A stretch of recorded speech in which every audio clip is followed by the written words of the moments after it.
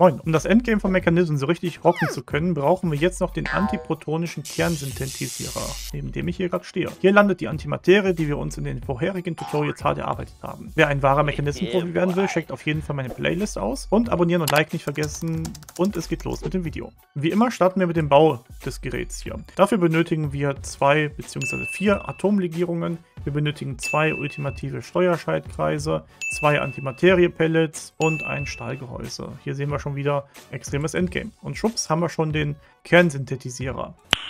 Nice. Wie genau wir an diese Materialien rankommen, benötigen wir auf jeden Fall die Infusionsanlage, aber erkläre ich genauer in der Playlist für Mechanism. Da gehe ich nämlich von der Tier 0 oder 1 Produktion bis Tier 4 Produktion alles durch. Also auf jeden Fall anschauen. Natürlich benötigen wir auch Strom für den Kernsynthetisierer. Richtig.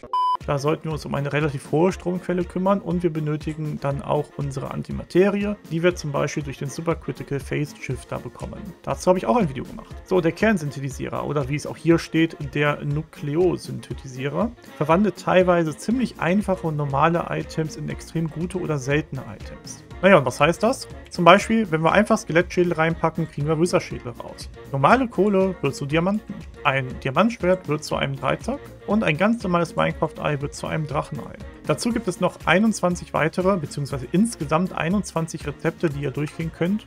Naja, und die sind für den einen oder anderen mehr oder weniger wertvoll. Es kommt auch immer darauf an, was man vorhat, beziehungsweise welche Mods noch installiert sind. Aber bedenkt, ihr benötigt immer Antimaterie. So, wenn Fragen hierzu sind, stellt die auf jeden Fall in die Kommentare. Ist relativ kurz und knackig gehalten, aber mehr kann er auch nicht und mehr gibt es dazu auch nicht zu sagen. Aber wie gesagt, ganz wichtig, folgt den anderen Videos, die ich dazu gemacht habe, damit ihr überhaupt auch dazu kommt, diese Maschine bauen zu können. Fertig sind wir aber trotzdem noch nicht, denn wir haben noch den Atomic Disk Assembler. Das ist im Prinzip eine Waffe oder auch ein Werkzeug, also ein Multitool kann man sagen. Wir können uns das einmal anschauen, wie man das craftet. Auch hier sehen wir wieder ein bisschen Endgame. Wir brauchen Legierungen, wir brauchen Atomlegierung und ein Energietablett.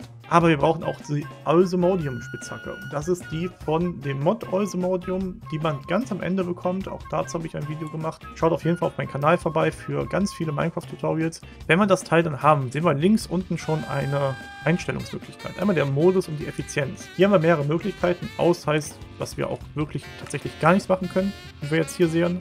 Wenn das Ding auf normal steht, dann haben wir eine Effizienz von 20. Da sehen wir jetzt hier, okay, wir können schon so die Blöcke ein bisschen abbauen. Wenn es das allerdings zu schnell ist und wir wenig Energie verbrauchen wollen, können wir das auch auf langsam machen. Oder wir machen es auf schnell und haben die höchste Energie ja, den höchsten Energieverbrauch, aber wir haben auch die höchste Effizienz und das bedeutet, wir one-hitten im Prinzip alles, wie wir hier sehen. Und nicht nur ganz normal Blöcke, sondern auch Ressourcen. Das heißt also, wir können hier uns extrem schnell durch die unterschiedlichsten Ressourcen und Rohstoffe von Minecraft bauen und haben natürlich dann auch alles sofort parat. Wichtig hierbei ist es, wir benötigen bestenfalls einen Energiewürfel, denn dieser Atomic Disassembler benötigt Energie, um zu funktionieren. Und das auch relativ viel auf der höchsten Stufe. Wenn wir jetzt mal gucken, wir haben noch 295.02 Energie und wenn wir einen Block abbauen, haben wir noch 294.5. Das heißt, wir müssten hier auf jeden Fall dafür sorgen, dass wir Energie bekommen. Dafür ist der Energiewürfel da, wie gesagt, der muss natürlich auch aufgeladen sein und wir können den Disassembler einfach hier oben reintun und wir sehen, die Energie läuft wieder nach oben. Da gibt es natürlich auch noch viele mehrere Möglichkeiten, aber das ist eine der schnellsten Möglichkeiten. So, das wäre es gewesen. Endgame von Mechanism.